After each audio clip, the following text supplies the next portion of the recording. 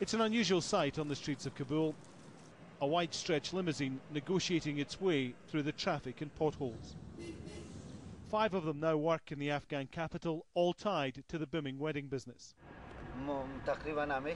Every day our limousines are busy.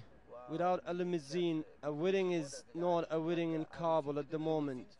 The roads are bad. The cars have to go really slow, but I'm happy to bring something different to my country. The car is decorated before it heads off to pick up the bride, the groom, and a large wedding party. At $120 a night, the family want to make sure they get their money's worth. In the time of the Taliban, Kabul only had one wedding hall. Tables and chairs were not allowed. Music was banned. Now, parts of the Afghan capital look like Las Vegas as wedding halls get bigger and brighter, trying to attract what is a lucrative trade. But behind the lights and the glamour, Afghan weddings are deeply traditional. Most are still arranged by parents, and men and women celebrate separately. Pictures of the bride by outsiders are not allowed. Abdul Wahid Amiri has grown up in Canada but came home to be married. The family I have here, I don't have anywhere else. So when I came here, it's like it's a whole new thing for me to see the family and everything. What sort of money have you spent on this today?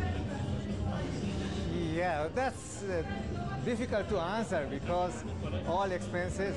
But I do I, I didn't calculate it exactly how much because uh, the hall is very expensive and uh, the, exp the expense here, you know that now is very high. But that's okay. The glamour and expensive weddings is a break from real life in Kabul where few have electricity or running water. With extended families, 400 people would be considered a small wedding.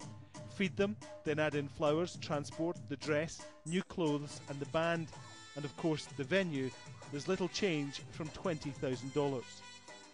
Our people are very hard working. They work really hard to raise the money to afford a big wedding celebration. They don't want to celebrate without their friends.